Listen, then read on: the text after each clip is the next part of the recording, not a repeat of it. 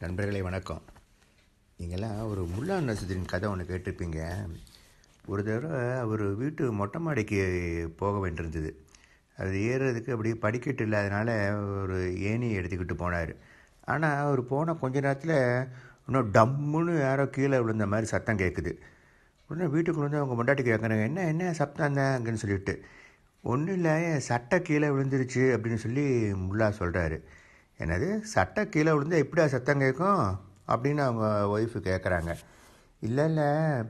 நான் அந்த சட்டைக்குள்ளார துரதிருஷ்டமாக அதுக்குள்ளே இருந்துட்டேன் அப்படின்னு முல்லா பதில் சொல்கிறாரு இந்த மாதிரி இப்போ ஒருத்தர் நம்மளை பார்த்து நீங்கள் யாருன்னு கேட்குறதா வச்சுக்குவோம். நம்ம என்ன பதில் சொல்லுவோம்? நான் ஒரு சிந்தனைன்னு சொல்லுவோமா? முல்லா வந்து தன்னை வந்து ஒரு சட்டைன்னு சொல்லி இது மாதிரி நிச்சயம் வந்து நம்ம வந்து நம்மளை ஒரு சிந்தனைன்னு சொல்ல மாட்டோம். ஏன்னா நம்மளோட சிந்தனையை பற்றி நமக்கு நல்லா தெரியும். எப்படி ஒரு ஊதியத்திலேருந்து புகை வந்துக்கிட்டு இருக்குதோ அது மாதிரி தான் இந்த சிந்தனை கூட ஒன்று பின்னாடி ஒன்றா அப்படியே வந்துக்கிட்டே தான் இருக்குது. இப்போ இந்த சினிமா கா காட்சியெலாம் நம்ம பார்த்துருப்போம். ஒருத்தர் உட்காந்துருக்கிற மாதிரி காட்டுவாங்க அப்புறம் அவரே நடக்கிறது மாதிரி காட்டுவாங்க.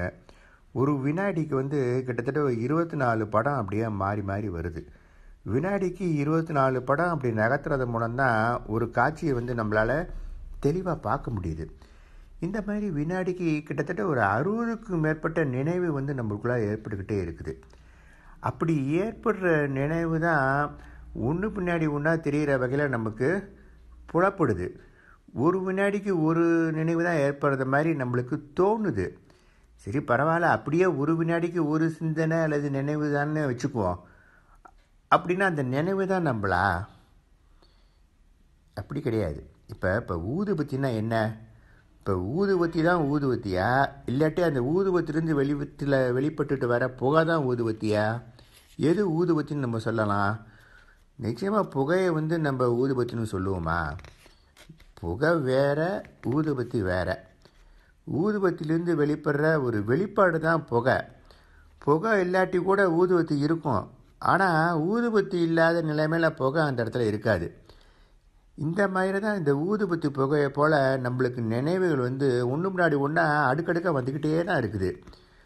ஊதுபத்தி புகைக்கு வந்து ஊதுபத்தி வந்து ஆதாரமாக இருக்கிறது மாதிரி நம்மளோட நினைவுகளுக்கெல்லாம் ஆதாரமாக எது இருந்துக்கிட்டு இருக்குது? மாறி மாறி புதுசு புதுசாக வர நினைவுகளுக்கு ஆதாரமாக இருக்கிற அந்த மாறாத உண்மை தான் எதுவாக இருக்குது? அந்த மாறாத உண்மை தான் ஆன்மாவா?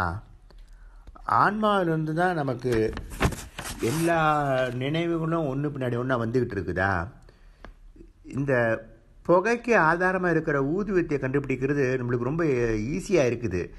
ஆனால் இந்த நினைவுக்கு ஆதாரமாக இருக்கிற இந்த ஆதார பொருளை கண்டுபிடிக்கிறது வந்து நம்மளுக்கு கொஞ்சம் கஷ்டமாக தான் இருக்குது. இந்த வெளிவந்த புகை கூட உடனடியாக அப்படியே மறைஞ்சு போயிடுது இல்லைன்னு இல்லாமல் கூட போயிடுது. அதேமாரி தான் நம்மளோட நினைவு கூட அப்படியே மறைஞ்சு கூட போயிடுது. புகையை மாதிரி அப்படியே இல்லாமல் கூட போயிடுது. அதனால் புதிய நினைவு தோன்றதுக்கு வாய்ப்பு கொடுத்துட்டு இந்த பழைய நினைவு இல்லாமல் அப்படியே கூட மறைஞ்சு போயிடுது. இந்த சினிமா காட்சியில் பார்த்தீங்கன்னா ஃபிலிமில் ஓடுறதுல ஏதாவது தடங்க ஏற்பட்டு போச்சுன்னு வச்சுக்கோங்களேன். சில காட்சிங்க அப்படியே ஆட அசையாமல் அப்படியே ஸ்டில் ஃபோட்டோ மாதிரி அப்படியே ஆடாமல் அசையாமல் அப்படியே நின்று போயிருக்கும் இந்த ஸ்க்ரீனில் ஆனால் அந்த மாதிரி ஒரு நிலைமை வந்து நம்மளோட நினைவுகளுக்கு ஒரு நாள் ஏற்பட்டது கிடையாது. ஒரே ஒரு நினைவு தான் அப்படியே வந்து அப்படியே அசைவில்லாமல் அப்படியே நின்று போயிடுறது கிடையாது. அப்படியே ஒரே ஒரு சிந்தனையே இருப்ப தோணுனா கூட அது கணத்துக்கான புது சிந்தனையாக தான் இந்த இடத்துல வந்துக்கிட்டு இருக்குது. இப்படி கணத்துக்கணும் புதுசு புதுசாக வந்துட்டு இருக்கிற சிந்தனையாக நம்ம நிச்சயமாக அது கூட நம்ம இருக்க முடியாது. அதனால் இந்த நினைவாகவும் இருக்க முடியாது சிந்தனையாகவும் இருக்க முடியாதுன்னா அப்படின்னா நம்ம யார்? சரி இதை பற்றி நம்ம நாளைக்கு கொஞ்சம் விரிவாக பேசலாம். நன்றி வணக்கம். நண்பர்களே வணக்கம். நம்ம நேற்றுக்கு வந்து இந்த நான்கிறது வந்து நினைவாகவும் இருக்க முடியாது சிந்தனையாகவும் இருக்க முடியாது அப்படின்னா நம்ம நிஜத்துக்கும் நம்ம யார் அப்படிங்கிறது இன்றைக்கி பார்க்கணுன்னு சொன்னோம். இப்போ இந்த நினைவுக்கு ஆதாரமாக இருக்கிறது ஆன்மா கிடையாது. அதேமாரி எந்த சிந்தனையும் ஆன்மாவிலேருந்து புறப்படுறது கிடையாது. அப்படின்னா எது தான் நம்மளோட நினைவுகளுக்கு அல்லது சிந்தனைகளுக்கு ஆதாரமாக இருக்குது? நம்மளோட உடம்பா? நம்மளோட உடம்போட ஒரு பகுதியான மூளையிலேருந்து தான் நம்மளோட மனசு செயல்படுது. அது நமக்கு நல்லா தெரியுது. அந்த மனசிலிருந்து தான் நம்மளோட நினைவு ஒன்றொன்னா அப்படியே வெளிப்பட்டுட்டு கூட வருது. அப்படின்னா அந்த மனசு தான் இந்த நான்கிறதா? இந்த மனசுக்கு ஆதாரமான உடல் தான் நான்னு நம்ம சொல்கிறதா இப்போ இந்த உடலோ இல்லை மனமோ கூட நானாக இருக்கலாம். ஆனால் நிச்சயமாக அதிலிருந்து வெளிப்படுற அந்த நினைவு மட்டும் நானாக இருக்கிறதுக்கு வாய்ப்பே கிடையாது. ஏன்னா எப்படி இந்த தோன்றி மறைகிற நிழல் வந்து எப்படி நானாக இருக்க முடியும்? இப்போ நம்மளுக்கு ஒரு கேள்வி வருது. இப்போ நம்மளோட நினைவெல்லாம் அப்படியே சட்டுன்னு அப்படியே நின்று போச்சுன்னு வச்சுக்கோங்க. அப்போ என்ன ஆகும்? இந்த மாதிரி நேரத்தில் தான் ஒரு அம்மையார் வந்து ஒரு அவங்களோட எக்ஸ்பீரியன்ஸை சொன்னாங்க. அதை கேளுங்க. எனக்கு எனக்கு சிந்தனையே இல்லாமல் போயிட்ட நிலமையில எனக்கு எதுவுமே தெரியாமல் போயிடுச்சு. மனசே இல்லாமல் போயிடுச்சு. எனக்கு எந்த வேலையுமே செய்ய தெரியல. அப்போ முருகனோட பாட்டு ஒன்று டிவியில் ஒளிபரப்பாயிட்டு இருந்தது. அந்த பாட்டோடு சேர்ந்து நானும் அப்படியே வாய் விட்டு பாட ஆரம்பிச்சிட்டேன். அப்படி பாட பாட என்னோடய மனசு அப்படியே வேலை செய்ய தொடங்கிடுச்சு. சிந்தனைகள்லாம் அப்படியே வர ஆரம்பிச்சிருச்சு. அப்பாடா அப்படின்னு எனக்கு அப்போ தான் இருந்தது அப்படின்னு சொல்லி அவரோட தன்னோட அனுபவத்தை சொன்னார். இப்போ அவர் புரிஞ்சுக்கிட்டதை போல் உண்மையில் அவங்களோட மனசு வந்து முழுசாக தன்னோட வேலையை நிறுத்திவிடல. அப்படி நிறுத்திக்கிட்டு இருந்ததுன்னா நடந்த சம்பவம் கூட நினைவில் இருக்காது. பாடலோடு சேர்ந்து பாடியிருக்க கூட அவங்களால முடியாது. ஆனாலும் கூட அவங்களுக்கு ஏற்பட்ட இந்த அனுபவம் வந்து கொஞ்சம் சற்று எல்லாத்துக்கும் இருக்கிற மாதிரி கொஞ்சம் வித்தியாசமாக இருக்குது. இது எதனாலன்னு பார்த்தோம்னாக்க அவங்களோட சிந்தனையோட அளவு கொஞ்சம் குறைஞ்சிட்டதுனால ஏற்பட்ட விளைவு தான் அது. இப்படி நினைவு இல்லாட்டி எதுவுமே இல்லாமல் போயிடுது. எல்லாமே இருந்தாலும் கூட எதுவுமே இல்லாத நிலைமை தான் இந்த இடத்துல ஏற்பட்டுடுது. இப்போ பாருங்கள் இப்போ இந்த மின்சார பல்ப்லேருந்து வெளிச்சம் வருது. அந்த வெளிச்சத்தில் வந்து இந்த ரூமில் இருக்கிற எல்லாமே நமக்கு நல்லா தெரியுது. ஆனால் இந்த வெளிச்சங்கிறது வந்து பல்பு கிடையாது. அது பல்போட ஒரு வெளிப்பாடு மட்டும்தான். பல்பு தான் இங்கே ஆதாரமாக இருக்குது. அதுதான் உண்மையான பொருளாக கூட இந்த இடத்துல இருக்குது. அதோட வெளிப்பாடு தான் இந்த வெளிச்சங்கிறது. அந்த வெளிச்சம் வந்து தற்காலிகமானதாக இருக்குது தோன்றி தோன்றி மறையக்கூடியதாக கூட இருக்குது. இப்போ இந்த பல்புலேருந்து வர வெளிச்சம் நின்று போச்சுன்னு வச்சுக்கோங்க. இப்போ இங்கே எது எது இருக்கும் இங்கே? எல்லாமே இருக்கும். ஆனால் அந்த ரூமில் இருக்க எதுவுமே நம்மளுக்கு தெரியாது. ஏன்? அந்த பல்பு கூட நம்மளுக்கு தெரியாது. இப்படி நம்மளோட நினைவு வந்து ஒரு வெளிப்பாடாக மட்டும்தான் அந்த இடத்துல இருந்துகிட்டு இருக்குது ஆனால் நினைவு இல்லாட்டி போனால் எதுவுமே இந்த இடத்துல இல்லாமல் போயிடுது. மனம் இருக்க மாட்டேங்குது உடம்பு இருக்க மாட்டேங்குது ஏன் உலகமே கூட இருக்க மாட்டேங்குது. நம்மளோட நிஜ சுரூபம் ஆன்மாவை கூட இருக்கலாம் இல்லை நம்மளோட உடம்பாக இருக்கலாம் இல்லை நம்மளுடைய மனமாக இருக்கலாம். ஆனால் அது எதுவுமே தன்னை வந்து நான்னு சொல்லிக்கிறது கிடையாது. தன்னை வந்து நான்னு சொல்லிட்டு அது புரிஞ்சிக்கிறது கிடையாது. நம்மளோட நினைவுகளுக்கு மட்டும்தான் தன்னை வந்து நான்னு சொல்லி அறிஞ்சிக்கக்கூடிய ஒரு தன்மை இந்த இடத்துல இருக்குது. ஏன்னா நம்மளோட நினைவுகளுக்கு மட்டும்தான் இந்த சேமித்து வைக்கப்பட்ட நினைவு குறிப்பு இந்த மெமரி இருக்குது பாருங்கள் அதை பயன்படுத்திக்கிற ஒரு தகுதி இருக்குது. அதனால் இன்னைய நிலைமையில் பார்த்தோம்னா உடம்பு இல்லாமல் மனசு இல்லை. அதே மாதிரி மனசு இல்லாமல் நினைவு இல்லை. ஆனாலும் கூட இந்த நினைவு மூலமாக தான் எல்லாமே இந்த இடத்துல நடக்குது. யதார்த்தமான நிலையில் வந்து இப்போ நடைமுறை உண்மையாக இருக்கிறது எதுன்னு பார்த்தோம்னாக்க நினைவு மட்டும்தான் நம்மளுக்கு உண்மையாக இருக்குது. அதுதான் தன்னுக்குள்ளார எல்லாத்தையும் உள்ளே அடக்கிட்டு இருக்கு.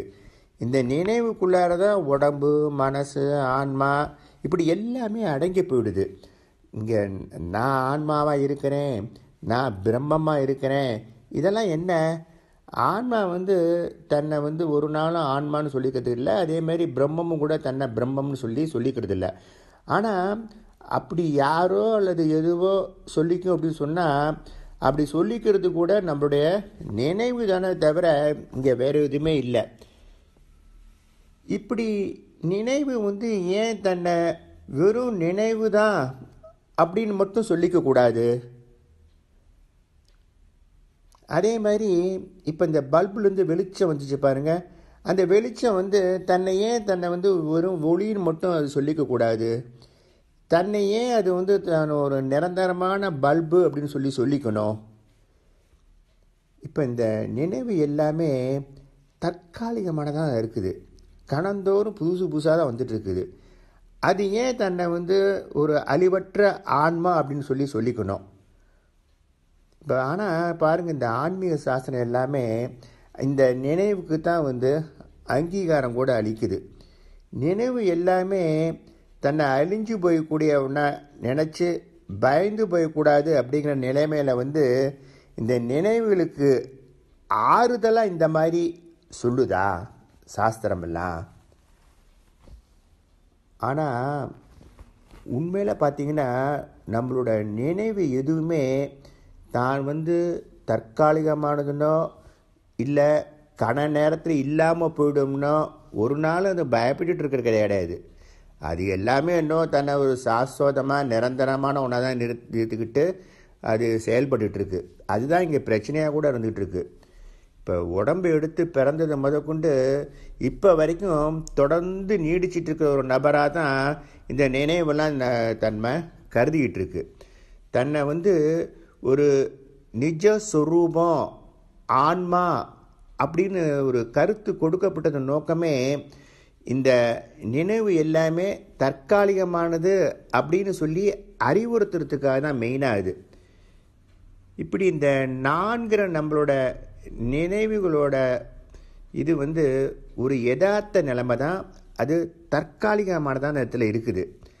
அது இன்னமும் நிரந்தரமாக இருக்கிறது மாதிரி ஒரு அனுபவத்தை நம்மளுக்கு ஏற்படுத்துறது கூட ஒரு மயக்கம்தான் அந்த இடத்துல. தோன்றதும் மறையிறதும் தான் அதோட யதார்த்தமாக இருந்துகிட்ருக்கு அதோட இயற்கையாகவும் கூட இருந்துகிட்ருக்கு இப்படி நம்ம இந்த யதார்த்தமான உண்மையை நம்ம பேசணும்னு சொன்னால் நான்கிறது ஆன்மா கிடையாது. நான்கிறது உடம்பு கிடையாது. நான்கிறது மனம் கிடையாது. இந்த நான்கிறது வந்து கணந்தோறும் ஏற்பட்டுட்டு இருக்க ஒரு நினைவு மட்டும்தான் அது ஒரு வெளிப்பாடு மட்டும்தான். இது வந்து ஒரு கண் சிமிட்டுற நேரத்தில் வந்து போகக்கூடிய ஒரு மின்னலை மாதிரி தோன்றி தோன்றி மறையிற ஒரு கண நேர உண்மை தான் இந்த கண நேர உண்மை தான் இந்த நினைவுங்கிறது. இப்படி இல்லாமல் போயிடுற எனக்கு இந்த நானுக்கு என்ன இந்த இடத்துல தேவையாக இருக்குது? உண்மைக்கு எதுவுமே தேவை கிடையாது. எனக்கு எதுனாச்சும் தேவைப்பட்டுச்சு அப்படின்னா அந்த தேவை தான் என்னை இந்த இடத்துல தங்க வச்சிருது இல்லைன்னா தேக்கி கூட வச்சுப்படுது. ஆனால் இந்த தேக்கம் கூட இங்கே சாத்தியம் இல்லாமல் இருக்கிறதுனால தான் அது ஒரு தடுமாற்றத்தை கூட ஏற்படுத்திடுது.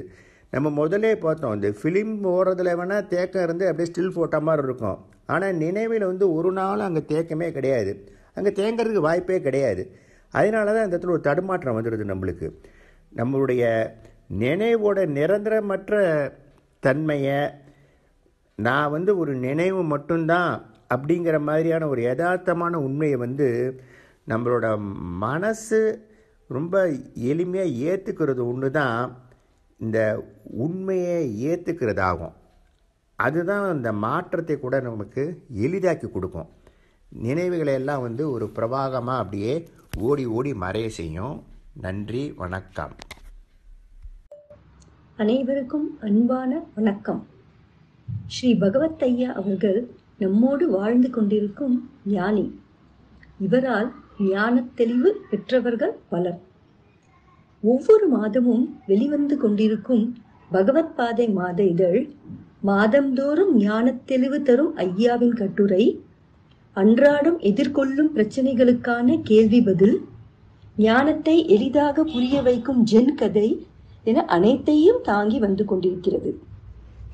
பகவத் பாதை தற்போது ஒளிபாதையாக திருச்சி குழந்தை நல மருத்துவர் டாக்டர் முத்துக்குமார் அவர்களின் உரையில் வெளியிட்டுள்ளோம். மேலும் ஸ்ரீ பகவத் மிஷனில் இருந்து சத்சங்கங்கள் ஞான முகாம்கள் நடைபெறுகின்றன.